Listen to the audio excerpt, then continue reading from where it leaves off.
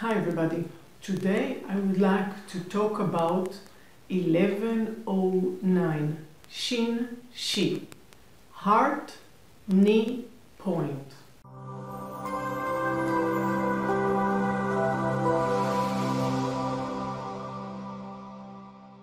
Heart knee point is located on the middle finger. This area is the pericardium Jue Yin meridian. Therefore, it can balance the liver meridian.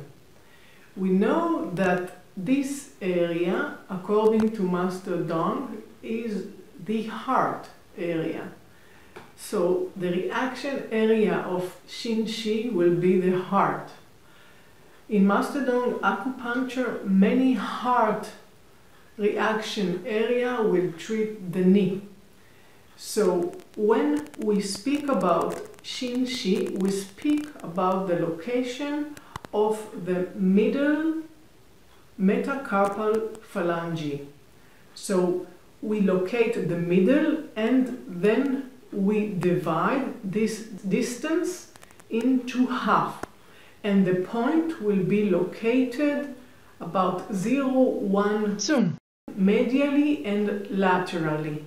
The needling depth will be around 0.1 or 0.2. cun. So when do we use this point? This point is one of the major points of Master Dong for treating knee pain. Knee pain is mostly will be on the liver area. Since this is the Jue Yin channel, it will treat the medial side of the knee.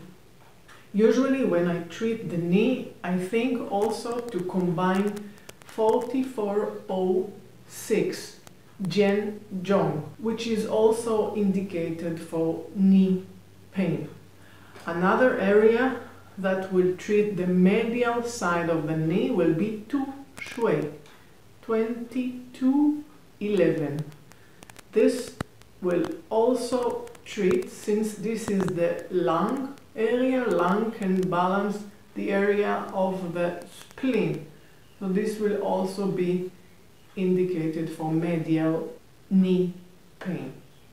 When we speak about the pericardium channel, we know that pericardium and stomach channel can balance each other according to the Zang Fu Bie Tong system.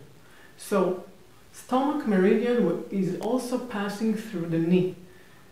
It is on the anterior side of the knee. So when we treat with 1109, we understand that it can treat the area of the knee. Another thing to remember is the mirroring system of Master Dong. We can think of imagining this finger as our leg, the whole leg. So we can see that the first knuckle will be our knee, the knee area. So when we think of imaging, we understand that Xin Xi will be located around the knee area. So this is also why Xin Xi will be good for knee pain. So how do we puncture? So when we want to locate Xin Xi, as I mentioned, we find the middle phalanx and we find the midline. So this will be the midline between the two knuckles. And the point will be located 0.1 cun. on the sides of the midline. Okay, so we need to divide this phalanx into two halves. The point will be puncture 0.1 cun. Till 0.2 cun. deep.